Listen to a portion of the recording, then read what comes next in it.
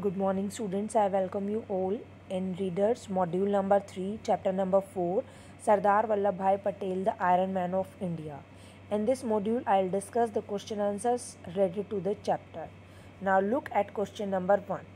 Why is Sardar Patel called and remembered as the patron saint to India's civil servants? Sardar Patel is called the patron saint of India's civil services because he established the modern all India civil services. Now let's know about the second question. You are to describe in the second question, you are to describe an incident which shows that Sardar Patel possessed remarkable mental toughness and physical strength for, from early age. While teaching the chapter, I cleared you this the answer of this question in second uh, para. See, when he suffered a boil in his armpit as a child, and when the local man refused to treat him, he himself without hesitation took the road and burnt the boil. Look at question number 3 now. What is the major contribution of Sardar Patel to India's freedom? What was his contribution?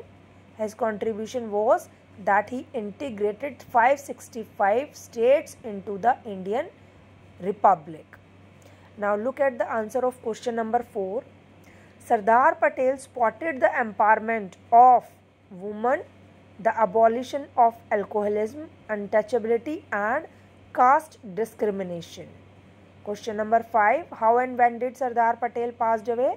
He passed away on 15 December 1950 due to a massive heart attack and he was awarded Bharat Ratna posthumously in 1991. Now let's discuss the hot questions. How different would have India been today had Sardar Patel failed in his efforts to integrate the princely states into India? See the answer. If Sardar Patel had not integrated the state, India would not be an integrated nation today. I hope you would have understood well. Thank you so much for watching the video. Have a nice day.